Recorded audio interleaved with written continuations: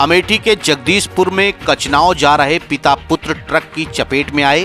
गंभीर रूप से घायलों को इलाज के लिए अस्पताल में कराया गया भर्ती। पुत्र की मौत हो गई और पिता की हालत हुई गंभीर। डॉक्टरों ने ट्रॉमा सेंटर लखनऊ किया रेफर। सूचना पर पहुँची पुलिस ने लाश को अपने कब्जे में लेकर ट्रक व चालक की तलाश की शुरू।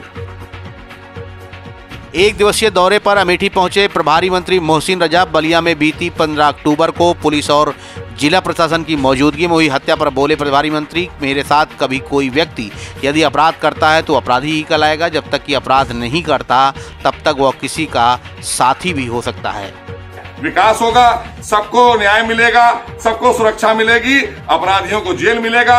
अगर दुर्दांत अपराधी है इनकाउंटर में मारा जाएगा तो हमें कोई प्रॉब्लम नहीं है। प्रॉब्लम अगर है तो वो विपक्ष को है। सुल्तानपुर पुलिस का सराहनीय कार्य थाना कादीपुर से 450 ग्राम अवैध गांजा के साथ अभियुक्त किया गया गिरफ़्तार। थाना गोसाईगंज से तीन वांछित अभियुक्त।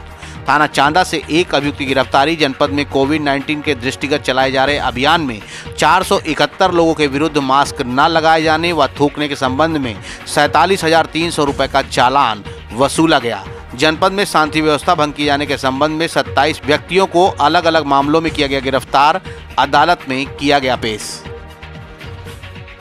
अमेठी में समाजसेवी राजेश मसाला का सराहनीय कदम।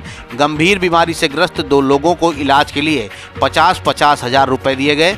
जंगल रामनगर निवासी ब्रेन ट्यूमर बीमारी से पीड़ित, वहीं दूसरी तरफ़ रामगंज निवासी प्रेमचंद्र जायसवाल को इलाज के लिए दिए गए पचास पचास हज़ार रुपए। राजेश मसाला ने कहा है कि क्षेत्र में इन सभी लोगों के इलाज के लिए जो भी मदद होगी, हम करेंगे। अपने निजी फंड से पचास हज़ार और आगे भी जो भी होगा, हम सब मदद करेंगे।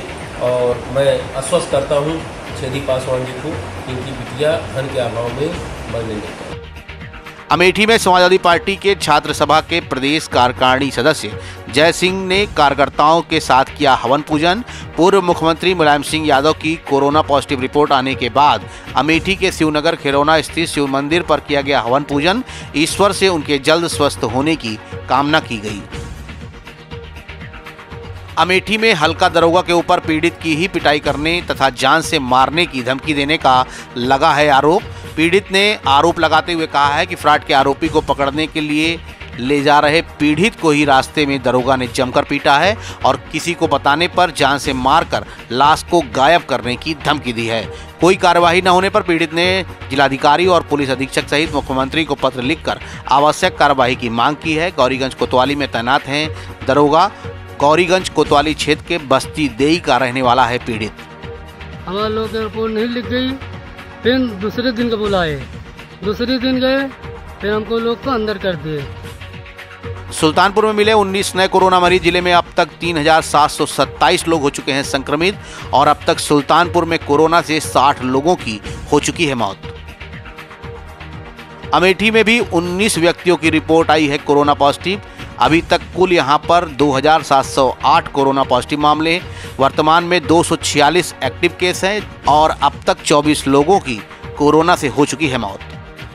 क्या थ्री बी के फ्लैट के दाम में लखनऊ में थ्री बी के का विला मिल पाएगा? जी हाँ सैन फ्रैन ग्रुप लेकर आए हैं San Fran state Sultanpur road Lucknow में। एल डी ए और RERA approved three B K villa वो भी फ्लैट के दाम में लोन सुविधा के साथ। और जब एंकर स्टोर और शॉप भी उपलब्ध है तो फिर कहीं और क्यूँ जाना? जी हाँ सैन फ्रैन ग्रुप लेकर आए हैं San Fran state Sultanpur road Lucknow में। एल डी ए और RERA approved three B K villa वो भी फ्लैट के दाम में लोन सुविधा के साथ। और जब एंकर स्टोर और शॉप भी उपलब्ध है तो फिर कहीं और क्यों जाना?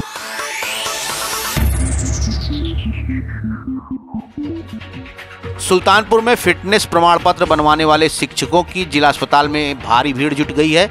दलालों की सक्रियता से महिला शिक्षकों की बड़ी दुश्वारियाँ हो रही है। मुख्य चिकित्सा अधीक्षक से फिटनेस प्रमाण पत्र के लिए अलग व्यवस्था किए जाने की मांग की गई है।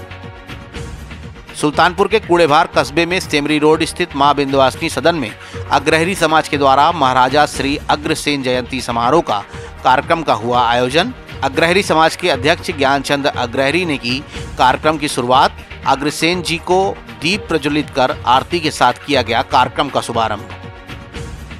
सुल्तानपुर में आगामी त्योहारों तथा मिशन शक्ति योजना के दृष्टिगत जिलाधिकारी व पुलिस अधीक्षक ने किया शहर में पैदल मार्च।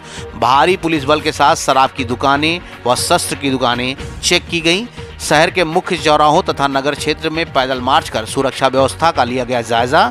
सुरक्षित व स्वास्थ्यवर्धक माहौल में त्योहार मनाने की लोगों से अधिकारियों ने की अपील। सुल्तानपुर के बल्दीराय ब्लॉक प्रमुख पर विद्युत उपखंड अधिकारी कर्मचारी द्वारा लगाया गया कैंप, ग्रामीण उपभोक्ताओं का विद्युत बिल जमा करने से संबंधित समस्या का किया गया निराकरण, बकाया विद्युत बिल जमा कराने के साथ विद्युत बिल में सुधार भी किया गया।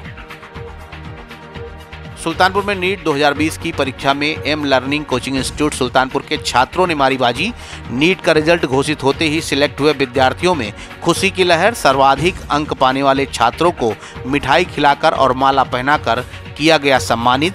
चर्चाओं का बाज़ार हुआ गर्म। सरजीत सर थे वो मुकेश सर ने उन्होंने हमारी काफ़ी मदद की और काफ़ी हमें हेल्प मिली लॉकडाउन में। नहीं, कहीं ना कहीं जो गेन किया है, उससे थोड़ा कम ही अचीव हो पाता। अमेठी पुलिस की बड़ी लापरवाही आई सामने। वर्ष 2018 में सर्पदंश, दीवाल गिरने, बिजली के करंट लगने तथा पानी में डूबकर हुई मौतों के पोस्टमार्टम के दौरान स्वास्थ्य विभाग द्वारा सुरक्षित किए गए बिसरा को पुलिस द्वारा अभी तक जाँच के लिए न भेजे जाने मामले में कार्यवाही करने के लिए जिलाधिकारी और पुलिस अधीक्षक से मिले भारतीय जनता पार्टी के वरिष्ठ नेता एवं पूर्व विधायक तेजभान सिंह। पूर्व विधायक का आरोप की पुलिस की लापरवाही के चलते अभी तक लोगों को नहीं मिला दुर्घटना बीमा का लाभ। तहसीलों से न मांगकर हमारा कहना था कि इसमें पुलिस से रिपोर्ट मांगो कि ये लापरवाही आपकी है, समय सीमा के अंदर बिसरा जाना चाहिए, समय सीमा के अंदर बिसरा लौट के आना चाहिए और फ़ाइल में लगना चाहिए।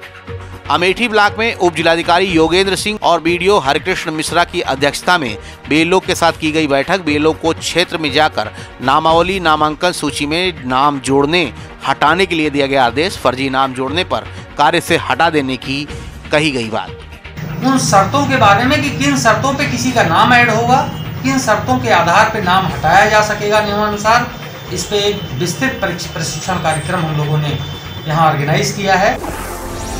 सच्चाई वही जो हम बताएँ।